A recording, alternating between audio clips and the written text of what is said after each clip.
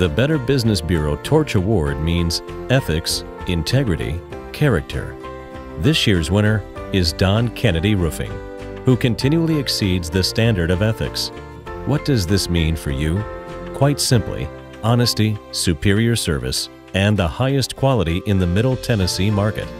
Don Kennedy Roofing, winner of the 2013 Better Business Bureau Torch Award. Don Kennedy Roofing. Why call anyone else?